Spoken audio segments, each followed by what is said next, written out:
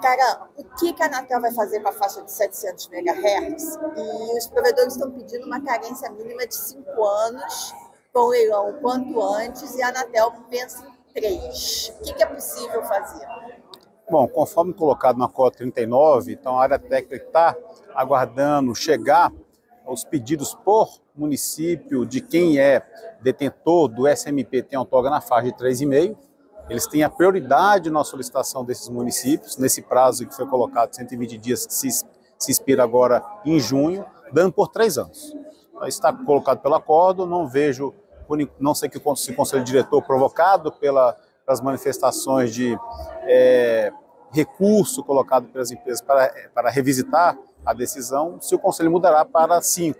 Então, hoje a decisão é que a Arateca, a superintendência de outorga, dê pelo prazo de três anos, é, esse prazo de três anos, a princípio, é até meio que suficiente para a gente, um quarto entrante no SMP, ainda que regional, e depois com acordos, seja nacional, consiga alavancar.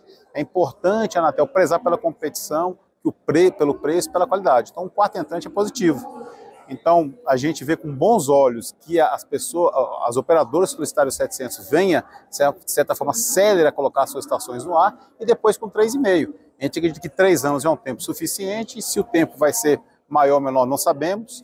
E estamos avaliando também um possível leilão, talvez o leilão pós, ou que seja de curto prazo, mas que dê essa garantia, segurança de três ou cinco anos para quem está começando a utilizar. Pois é, essa é uma outra reivindicação. O leilão de 700 aconteceu quanto antes. Você acha possível?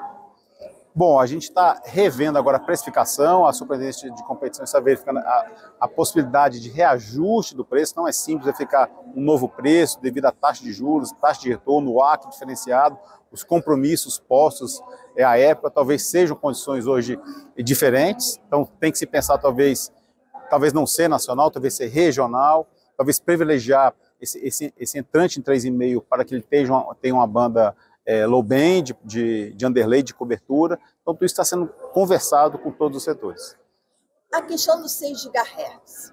Cara, o que, que vai acontecer com essa faixa? Vocês vão tirar dos provedores de Wi-Fi? Não, nós não vamos tirar dos provedores de Wi-Fi, nós estamos estudando a convivência é, da faixa de radiação restrita com IMT, vendo vários cenários. Então, vendo o cenário de ter o Wi-Fi, é, Wi-Fi 7, hoje a Wi-Fi 8 estão se falando usando todo o ponto 2, portadores 320 indoor, convivendo com o MT. Quem sabe a gente consiga chegar em modelos diferentes, de não ser 500 para o Wi-Fi, 700 para o MT, talvez 600, talvez meio a meio. Então a gente está agora acionando a indústria para fazermos testes com todos os fabricantes para ver qual é o melhor modelo e ver as convivências. Mas a gente quer sim estimular e prever, provavelmente, uma parte para o IMT, para garantir, como foi comentado, portadores de 200 MHz para redes móveis, sejam 5.5 ou um 6G, nessa faixa de frequência. Há uma decepção da Anatel pelo fato do, da faixa não ter sido usada como, como se pensou até agora? Bom, nós já temos aí é, quatro anos de expectativa do uso da faixa, é, não vimos a expectativa de termos, temos aparelhos certificados Wi-Fi 6 temos, tem alguma operadora que colocou, instalou o roteador na casa dos seus consumidores finais? Não. É, tem empresas usando no, no, no comercial enterprise? Tem, mas são poucas.